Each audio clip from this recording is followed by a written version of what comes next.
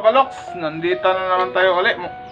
Ngayon po ay wala kaming production ngayon kasi skeleton pa yung ano namin, yung production dito. Pero ngayon kailangan mag rorobing tayo sa loob kung anong gagawin. Tingnan natin yung mga kalawang-kalawang na. Kung alin, alin yung pinakalawang doon, yun yung gagawin natin. Mag robing po tayo ngayon. Mag-ikot tayo doon sa loob, mga kabalok. Eh, ipakita ko po sa inyo sa loob kung anong gagawin po natin doon sa kung anong ma matrabaho natin doon. Tingnan natin. Tara mga kabalok, samahan niyo ako.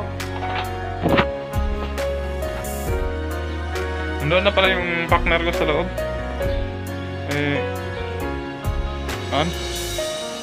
Kumuna na.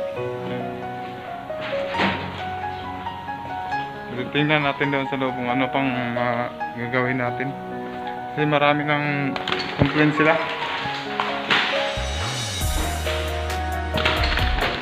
Dami na naman ang complaint. Dito na po tayo sa loob mga kabalok. Number one, ito talaga yung problema dito mga kabalok ko.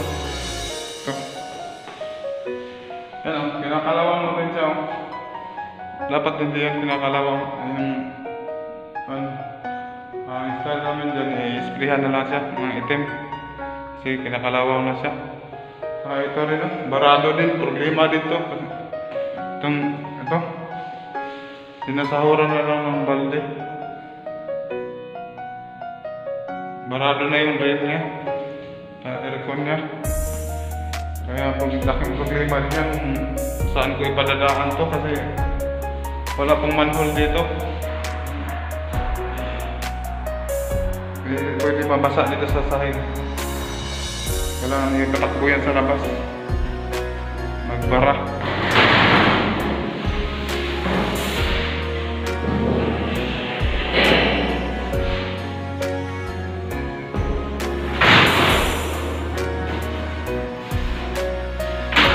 Pre lang talagang gagawin dyan kasi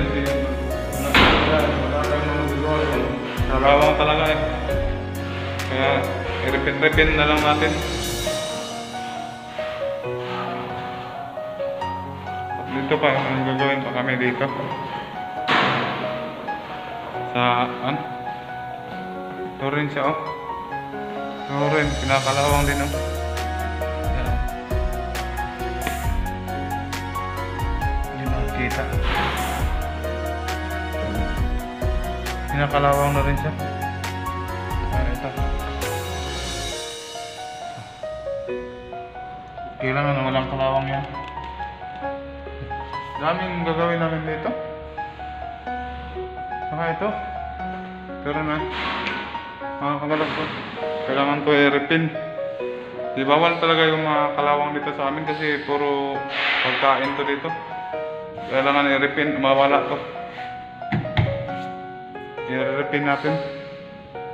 Dami pong mga ano ito, gagawin. Ito. Ito rin. Kailangan to i-repin kasi may kalawang na. Kaya i-repin natin mamaya. Pakita ko. Balok, ipalabas muna natin kasi mahirap mag-repin doon sa loob. Kaya Kaskusin muna natin bago natin i-refill. Kapag yung gagamitin natin ng pintura mga kabulok, nakarili na. Black, saka itong uh, chocolate, wala tayong gray eh. Ang gagamitin natin. Gray. Uh, ito. Lacquer, thinner. Wala eh. Ano eh, gray. Ito na lang gagamitin natin.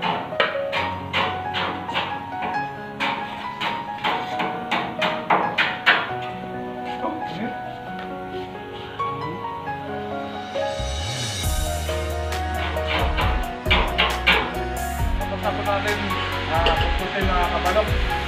Pero bago natin pahiran ng pintura, uh, pahiran muna natin ito. Rust converter para matanggal po yung kalawang niya. Isa na po natin mga kabalok.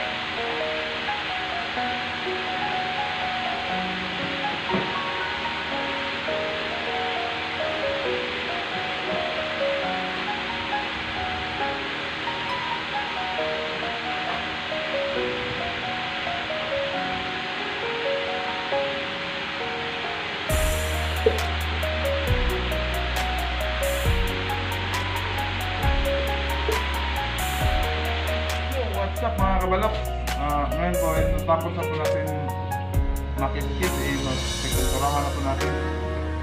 Ito pala yung gamitin natin, black. Kasi black po siya.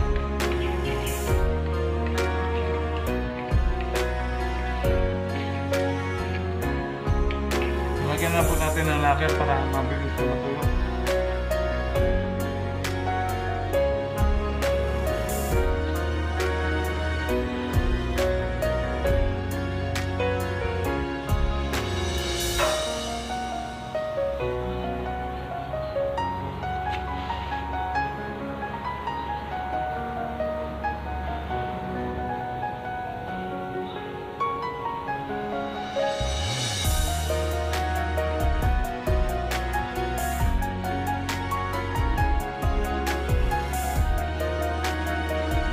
Up mga kabalok? Eh, tapos na po tayo yung nirepin natin na pan. Yung tarima. O, divider. Tawag nito ito po siya ako mga kabalok. Yan po. Yan po. Okay na siya. Bumalik na siya sa itim. Yan. Nawala na po yung mga kalawang niya. Kasi ang kapalang kalawang kanina, eh, pinagbabawal talaga yung kalawang dito mga kabalok. Kaya, nirepin ko. Yan na po siya mga kabalok ko. Po siya. Yan po siya ang kalawang.